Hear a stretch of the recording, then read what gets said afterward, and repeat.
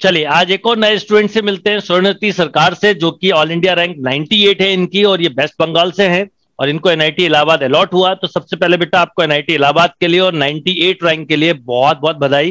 तो आप मुझे बताओ कि आपका, आप वेस्ट बंगाल से हो, आपने फाइनल के साथ ही इतनी अच्छी 98 रैंक अचीव की है।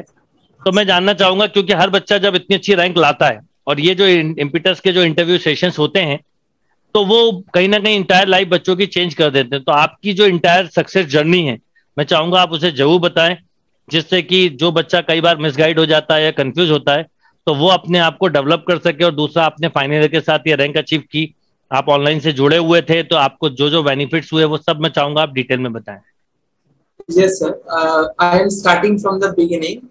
After my higher secondary, uh, at that time I was in dilemma what to do, either go for BTech or go for a normal honor subject. And at that time, my favorite subjects was mathematics.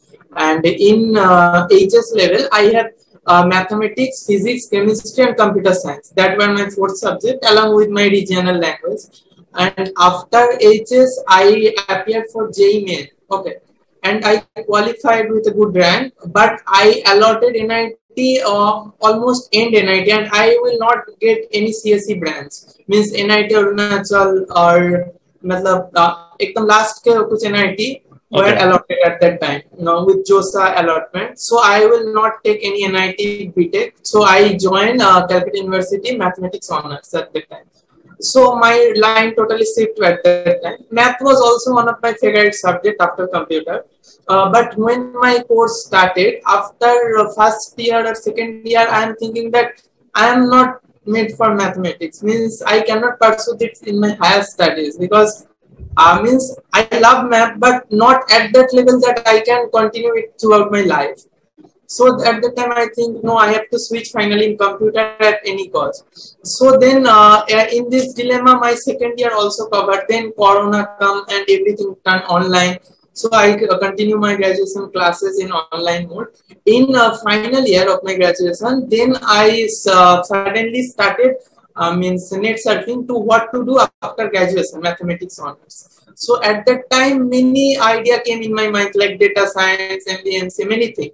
So I think that uh, MC is suitable for me because it is computer related and almost uh, everything match with BTech CSE.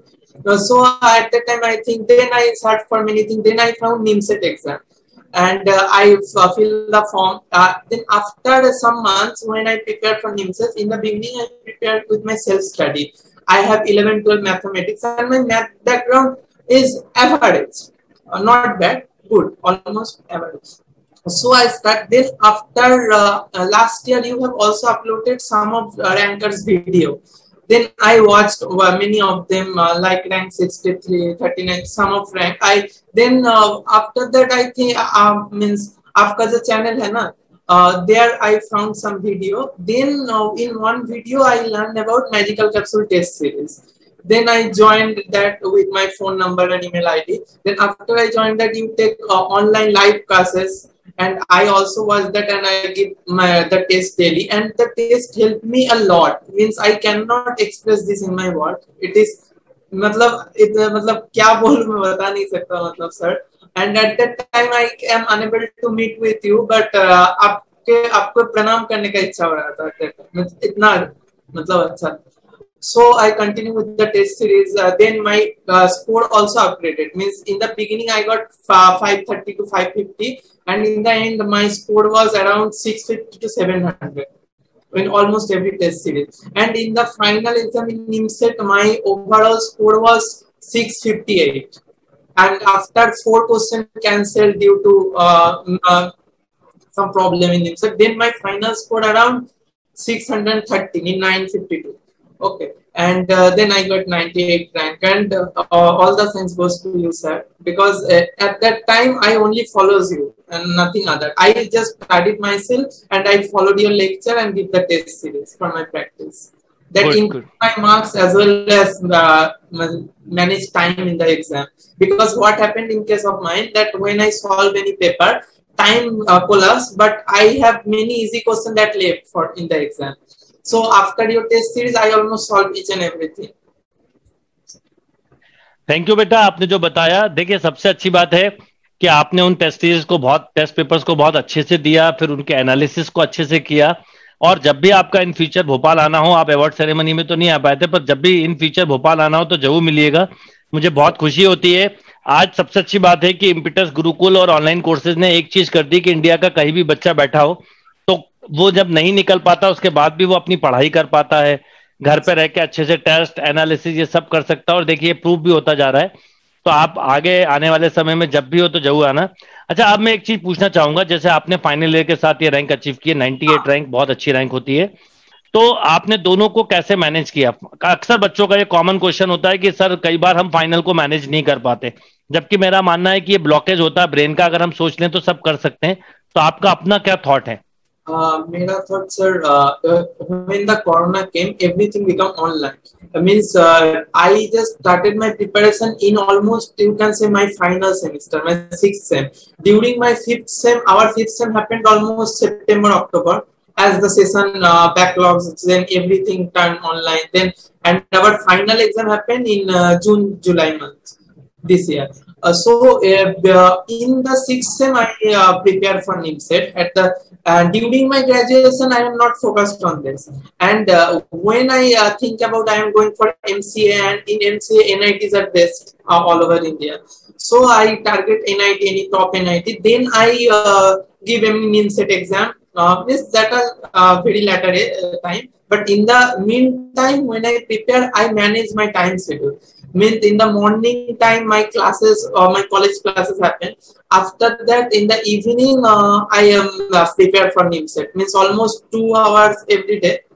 Almost in a week i give but not more more than that i revise the old topics in mathematics. okay and reasoning was uh, quite easy for me. Means uh, reasoning was not much difficult. And computer was uh, good with pratik sir. I got help from pratik sir classes.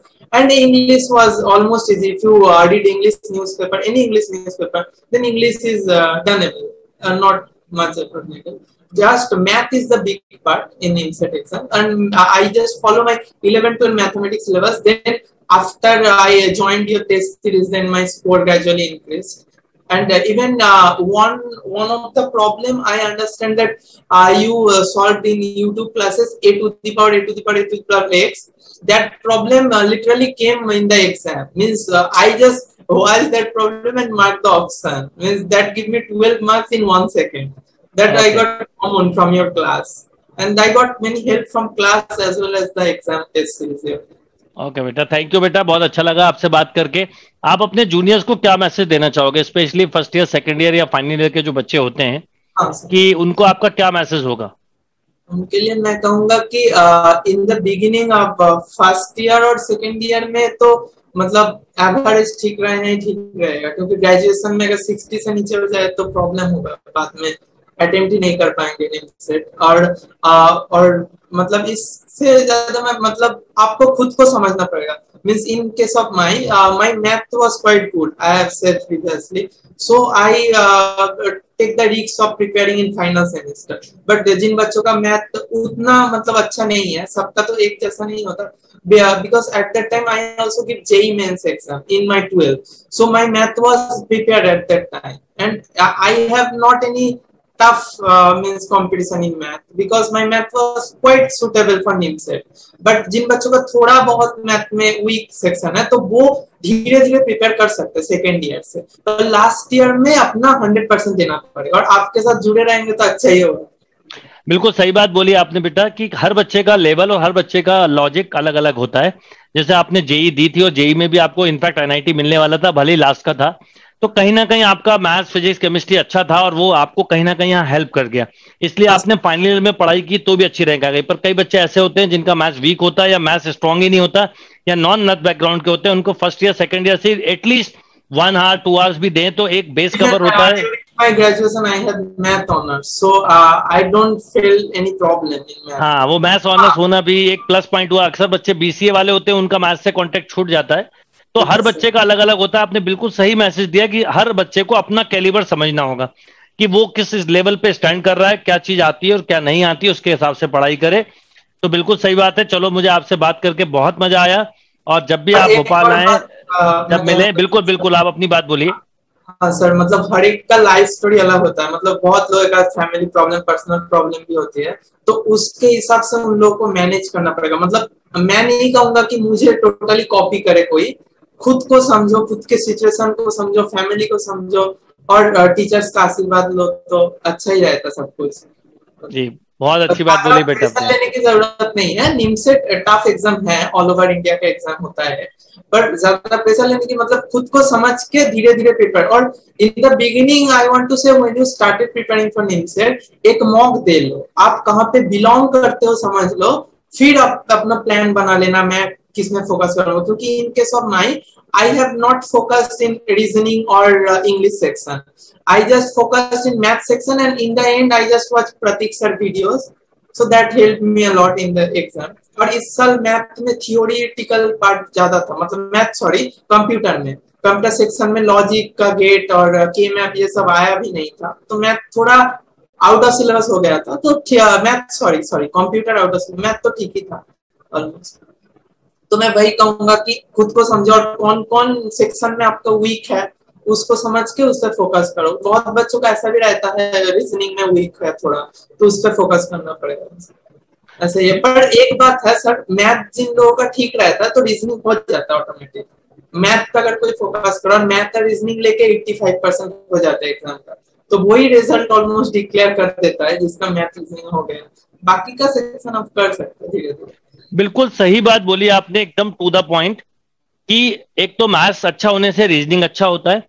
दूसरा, आप एक paper दो पहले, जब भी किसी, मैं तो हमेशा बोलता हूँ नॉट ओनली लिमसेट जिस एग्ज़ाम की तैयारी कर रहे हो, उसका पहले एक पैटर्न दो। मान लो आप कैट की तैयारी कर रहे हो तो कैट का पेपर दिया जेई की कर रहे हो तो जेई का निम सेट की तो निम सेट का। फिर आप देखो, आप कहाँ स्टैंड करते हो वीक एरियाज़ क्या है स्ट्रॉन्ग एरिया क्या है, कहाँ से कितना इंप्रूवमेंट करना है, किस तरह की लेवल की क्लास की ज़रूरत है अगर सब कुछ क्लियर है तो टेस्ट सीरीज़ से काम हो जाएगा। कंसेप्ट क्लियर नहीं तो ऑनलाइन क्लास ज्वाइन करना फ़िज़िकल क्लास ज्वाइन करना दूसरा घर की कंडीशंस कैसी सबकी अलग अलग होती पर जब तक कोई बच्चा अपने आप को सही नहीं पहचानता जब तक वो सक्सेसफुल नहीं हो सकता है तो ये बहुत अच्छी है टू द पॉइंट आपने बात बोली और मुझे उम्मीद है कि जो बच्चे इसको सुनेंगे इस बात को ध्यान रख के फोकस करेंगे और उस ढंग से पढ़ाई करेंगे। हाँ, और एक बात है कि मान लो आप लोग अगर पीसीएम के बैकग्राउंड से हो पीसीए वालों का तो अलग सीन है उनका कंप्यूटर रहता है। पर ऐसे कोई मतलब इमोशन में नहीं आ जाना कि एनआईटी में ही पढ़ना है ऐसा ही कुछ करना है। एनआईटी अच्छा है, बहुत ज़्यादा अच्छा है।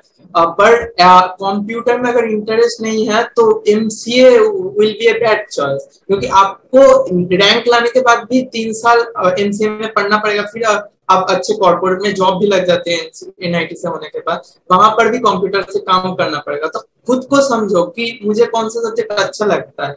नहीं तो बहुत एग्ज़ाम होता है। अगर गलती से चॉइस कर लिया रैंक भी मिल गया फिर बाद में प्रॉब्लम हो सकता है। खुद को समझो कि हाँ मेरा कंप्यूटर में इंटरेस्ट है मैं इस फ़ील्ड में जाऊँगा। और ऐसा भी नहीं है कि एनआईटी में ही पढ़ना पड़ेगा। अगर तो कोई किसी बंदे का कंप्यूटर बैकग्राउंड अच्छा है तो बैक कॉलेज से भी वो बहुत अच्छा प्लेसमेंट ले सकता है। एनआईटी में अच्छा रहता है क्योंकि सब कंपनी आती है ज़्यादातर। टॉप कंपनी आती है प्लेसमेंट टॉप हो जाते हैं। हाँ, बिल्कुल हाँ, बिल्कुल सही बात है कि हमारा इंटरेस्ट ज़रूर होना चाहिए। अगर हम एमसीए करने जा रहे हैं तो कंप्यूटर फ़ील्ड में इंटरेस्ट है, जब भी जाना चाहिए अदरवाइज़ केवल मैथ्स हमारा बैकग्राउंड है, ये देख के नहीं जाना चाहिए। बिल्कुल सही बात है। चलिए, बहुत मज़ा आया आपसे बात करके। अब ऐसे आप बच्चों को मोटिवेट करिए गाइड करते रहिएगा अपने स्कूल में, अपने कॉलेज में जूनियर्स को भी एनआईटी इलाहाबाद में भी अच्छा परफॉर्म करिए। Once against congratulation and all the best